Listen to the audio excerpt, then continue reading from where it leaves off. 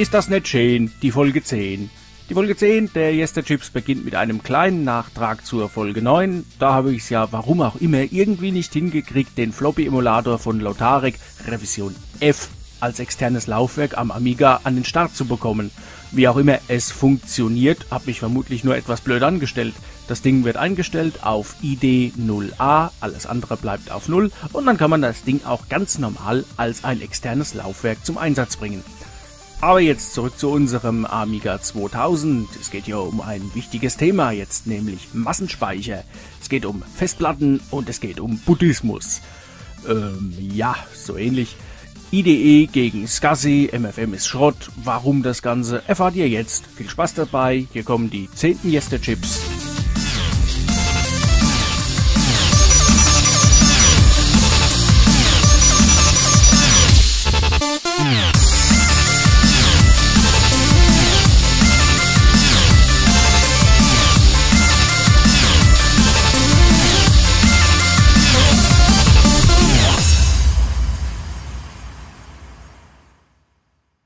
Der Amiga 2000 sollte ein Businessrechner sein und vor allem bei der Videobearbeitung war er ein regelrechter Platzhirsch. Aber Videobearbeitung bedeutete damals das gleiche wie heute, viel Speicherplatz wird benötigt und auch da war die Lösung schon damals eine Festplatte. Auf dem Mainboard des Amiga 2000 sucht man allerdings einen Festplattenanschluss vergeblich, er hat so etwas nicht.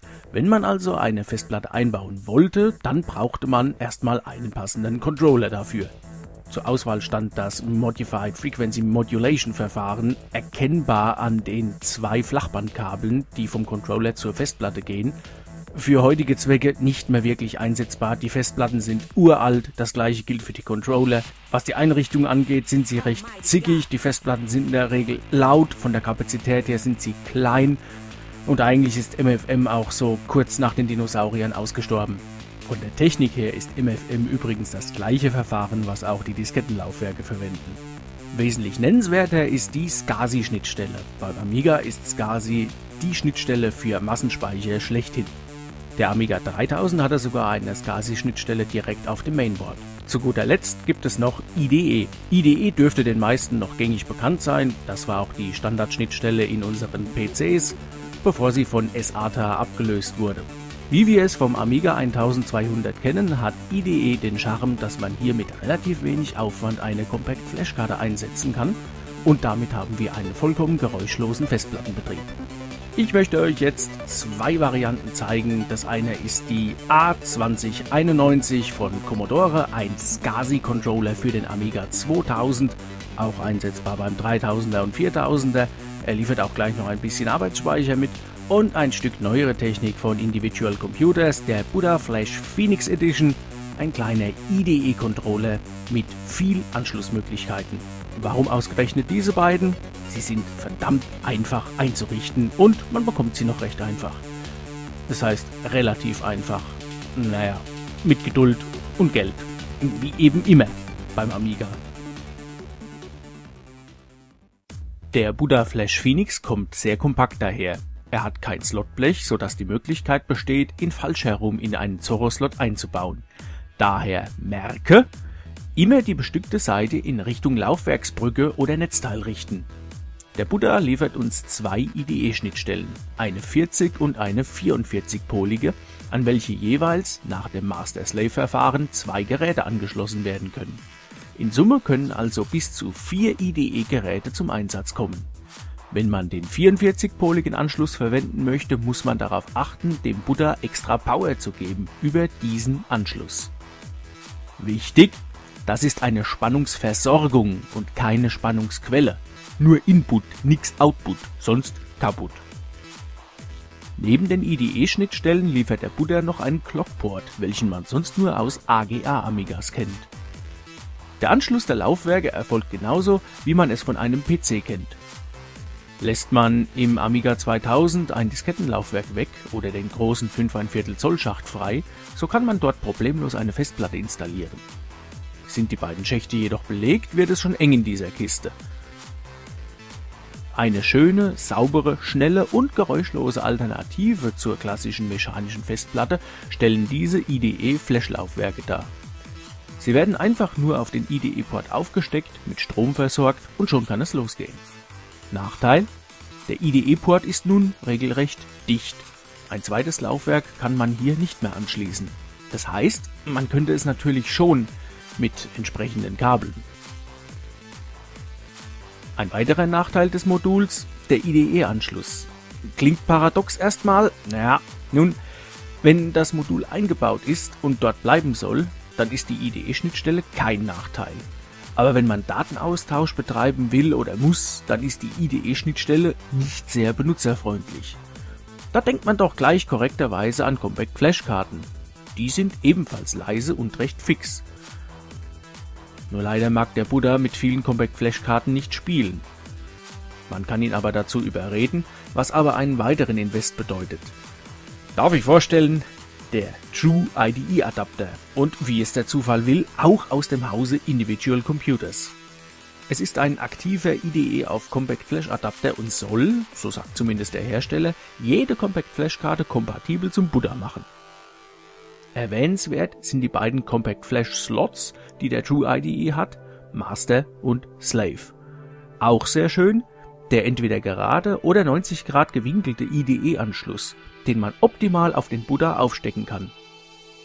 Die Nutzung des 44-poligen IDE-Anschlusses wird dadurch jedoch etwas erschwert. Ist aber möglich. Nebenbei sei noch bemerkt, dass man den True IDE Adapter auch an jeder anderen IDE-Schnittstelle, zum Beispiel in einem alten PC, zum Einsatz bringen kann. Er ist nicht explizit für den Buddha hergestellt worden, sondern generell für das Problem, dass manche Compact Flash Karten von bestimmten Systemen nicht als Festplatte akzeptiert werden die A2091 von Commodore, ein hübsches Stückchen Amiga Classic Hardware. Diese Karte ist eine sogenannte File-Card. Das bedeutet, dass auf der Karte selbst ein Platz vorgesehen ist, um dort eine Festplatte zu installieren.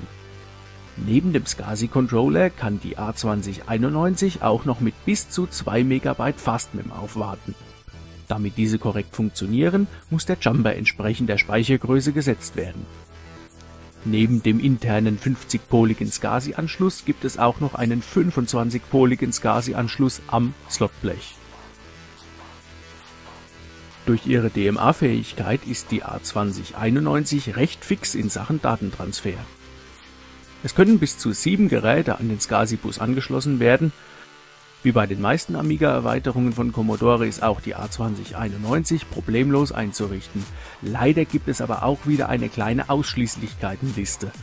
Die Karte verfügt über ein Autoboot-ROM, was damals keine Selbstverständlichkeit war. Nur mit Autoboot kann der Amiga direkt von Festplatte starten. Dies funktioniert aber nur mit einem Kickstart-ROM 1.3 oder besser. In unserem A2000 hier arbeitet ja ein 3.1er Kickstart, also das ist kein Problem. Die A2091 arbeitet einwandfrei mit Turbokarten zusammen, solange diese nicht einen 48040er Prozessor oder besser haben. Dann ist nämlich die Voraussetzung, dass die ROMs auf der A2091 mindestens Version 7 sind.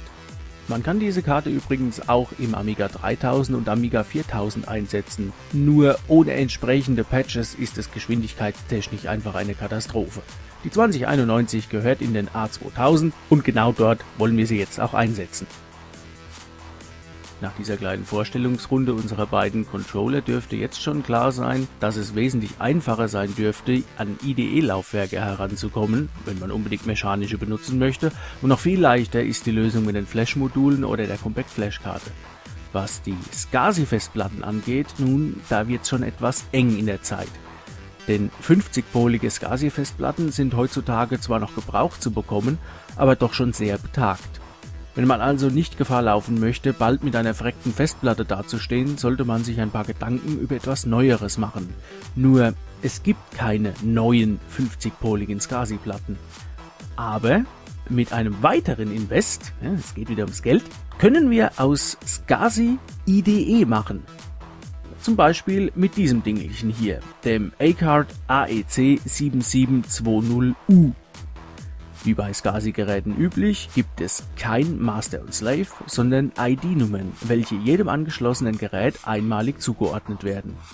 Gegenüber dem SCSI-Bus bildet die A-Card das angeschlossene Gerät und somit verpassen wir dieser mittels Jumper eine ID.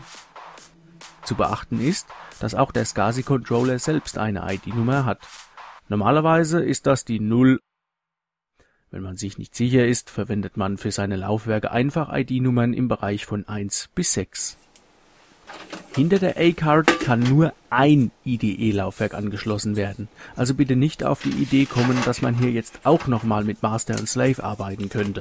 Das heißt, so richtig sicher weiß ich das nicht. In der Bedienungsanleitung wird davon nicht gesprochen, aber zum heutigen Zeitpunkt kostet die A-Card gut und gerne 100 Euro. Äh, möchte ich es auch nicht wirklich mit Experimenten jetzt ausprobieren. Zu Vergleichszwecken pappe ich hier hinter die A-Card die gleiche CF-Karte wie beim Buddha in einem True IDE Adapter. Das Einrichten der Festplatte und die Installation der Workbench funktioniert bei beiden Karten, Buddha und A2091, absolut gleich. Bei beiden Karten braucht man keine zusätzliche Software Einfach die Install-Diskette der Workbench 3.1 einlegen und die Installation starten. Dies geht deshalb so einfach, weil beide Karten das SCSI-Device verwenden, das Standard-Festplatten-Device, welches bei jedem Amiga-Modell genau so heißt. Hier darf man sich von dem Namen nicht verrückt machen lassen. SCSI-Device, also SCSI, ist der Überbegriff für alles. In einem Amiga 1200 zum Beispiel ist ja definitiv ein IDE-Anschluss vorhanden und das Device heißt trotzdem SCSI-Device.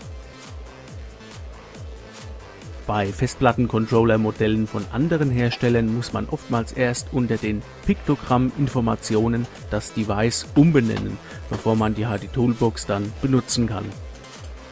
Wie die Installation vonstatten geht, zeige ich hier jetzt nicht noch einmal. Es ist die gleiche Prozedur wie bei jedem anderen Amiga auch. Zu sehen ist das Ganze hier in der Folge 2 der Yester Chips. Die Tatsache, dass Buddha und A2091 das SCSI-Device verwenden, wird auch in einer späteren Folge, wenn wir uns dann endlich mal um die Bridgeboards kümmern und hier im Speziellen dann um den Einsatz einer Festplattenpartition, welche wir speziell dem Bridgeboard zur Verfügung stellen wollen, eine ganz massive Rolle spielen. Denn ohne größere Veränderungen mögen die Commodore Bridgeboards nur mit dem SCSI-Device zusammenarbeiten. Richtet euch also jetzt mittels der HD Toolbox eure Festplatte ein, installiert die Workbench darauf, achtet aber bei dem Partitionieren darauf, dass ihr euch entweder eine Partition anlegt, die ihr später wieder schmerzfrei löschen könnt, oder lasst gleich ein paar Megabyte so 100 oder 200, je nachdem, was ihr später für die Bridgeboard-Partition verwenden wollt, frei.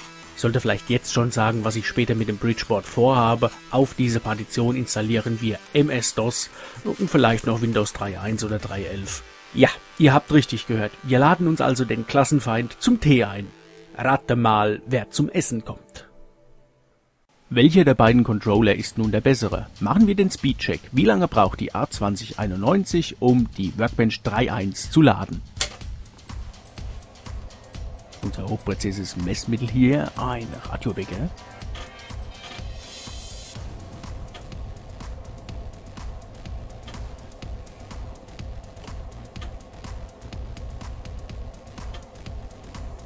Und es sind etwa 18 Sekunden.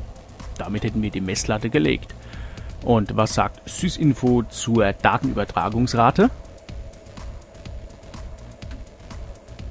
1,4 Megabyte pro Sekunde. Das ist ein durchaus ordentlicher Wert für die Tatsache, dass wir hier noch keinerlei Software-Tuning vorgenommen haben. Aber mit 1,4 Megabyte kann man hier im Amiga 2000 schon sehr gut leben. Und jetzt kommen wir zum Buddha. Die A2091 fliegt aus dem Amiga 2000 raus. Der Buddha kommt rein. Und damit wir vergleichbare Messergebnisse erzielen, schließe ich hier im True ID Adapter die gleiche Compact Flash Karte an, wie sie auch in der 2091 eingebaut war. Man sieht gleich, der Buddha ist viel kleiner, viel übersichtlicher und eigentlich auch viel schöner anzusehen, wenn er in dem Amiga 2000 eingebaut ist. Geschmackssache. Hier ist wieder der gnadenlose Radiowecker und jetzt schauen wir mal, wie lange braucht der Buddha von 0 auf 100 in Sachen Workbench 3.1.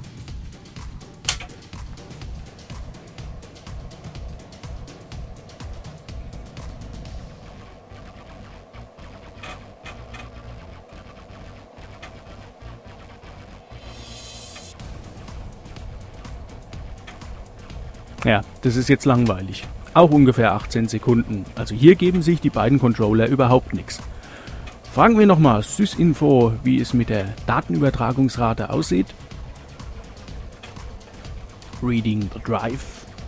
Es wird spannend.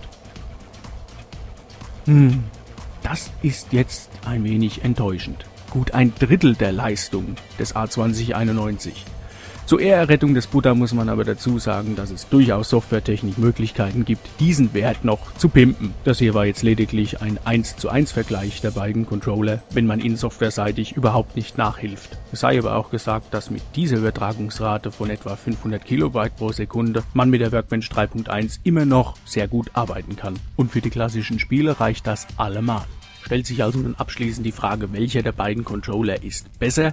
Und auf diese Frage gibt es wie so oft beim Amiga keine Patentantwort. Es kommt wieder darauf an, was man damit machen möchte. Wir haben ja vor, in diesen Amiga 2000 später noch ein Bridgeboard zu installieren.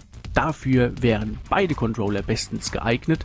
Wenn man aber das nicht vorhat und einfach nur den Amiga als das benutzen möchte, was er ist, nämlich als Amiga, und wenn man Geschwindigkeitsfreak ist, dann sind diese beiden Controller nix denn die Datenübertragungsgeschwindigkeit wird, wenn nicht durch die Controller selbst, spätestens durch den Zorro 2 Bus limitiert.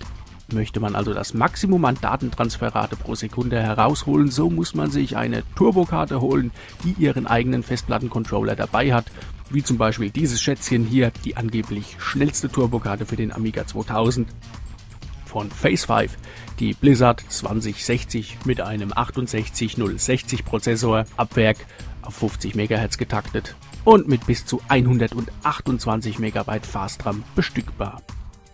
Sie hat einen SCSI-Controller an Bord und mit dem Ding, also ich kann das behaupten, ich habe das Ding, hebt der Amiga regelrecht ab. Die 2060 tritt dem Amiga 2000 regelrecht die Gicht aus den Knochen.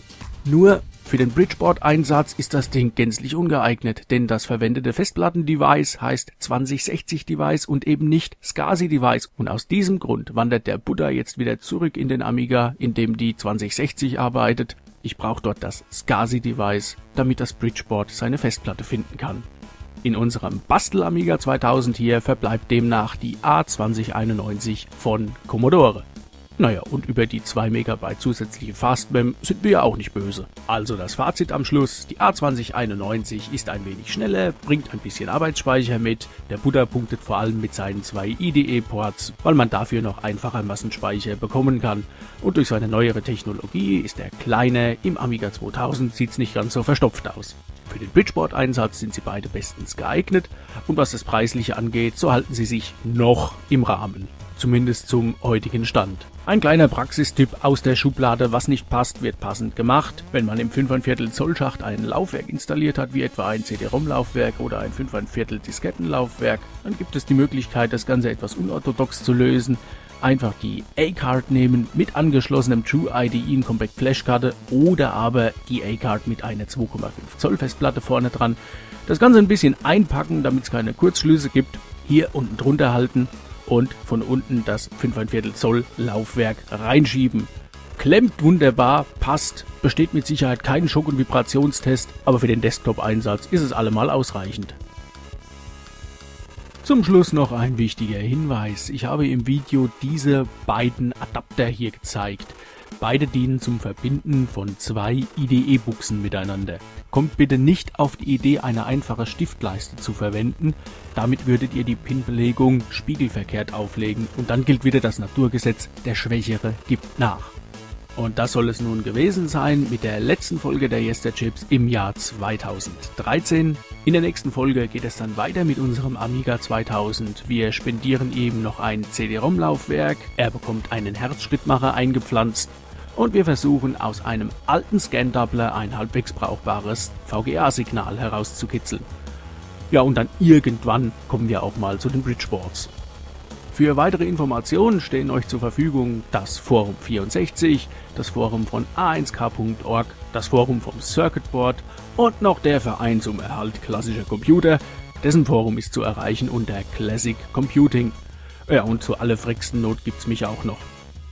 Solltet ihr dieses Video noch vor den Feiertagen sehen, wünsche ich euch jetzt schon mal frohe Weihnachten und einen guten Rutsch ins neue Jahr und hebt euch ein bisschen vom Weihnachtsgeld auf, denn die Amiga-Hardware wird nicht billiger werden. Apropos Amiga Hardware, ich spiele jetzt noch ein bisschen mit dem, was gestern in der Post gekommen ist. Die neue Turbokarte von Individual Computers, die ACA 500. Weiß noch nicht so recht, was ich davon halten soll. Alles, was ich hier sehe, ist, dass das Ding extern angeschlossen wird. Es ist kein Gehäuse dabei. Das ist schon mal mies. Aber was schon mal schick ist, es sind zwei Compact Flash Kartenslots darauf vorhanden. Das Ding soll mit dem Windows FAT Dateisystem umgehen können. Und im ROM ist das Kickstart ROM 1.3 und 3.1 vorhanden. Und schaut euch mal dieses Bootmenü hier an. Erinnert mich direkt an Katagis bzw. Denaris. Also dann, ich gehe jetzt noch ein bisschen basteln und ich wünsche euch was. Bis dann, ade und bye bye. Euer Mick.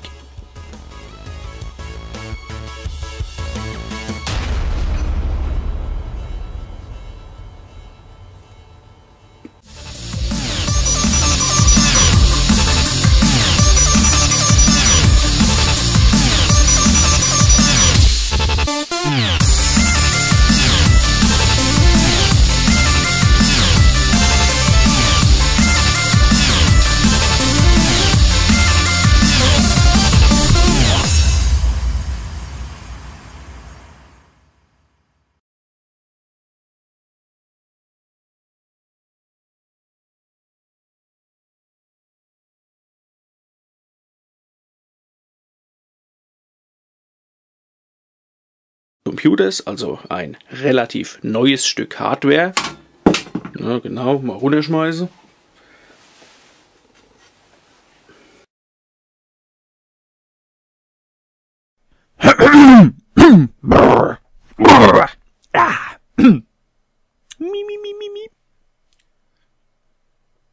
Das Image vom Sonics aus. Äh, scheiße. Das ist falsch. Das ist, das ist der verkehrte. Oh nein! Puh.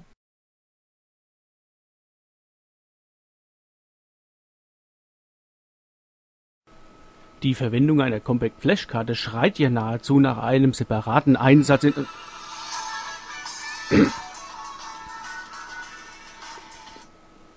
Ja. Aha. Ja, morgen früh um 10. Okay, gut, alles klar. Hallo. Äh, Da bin ich wieder. So eine Scheiße.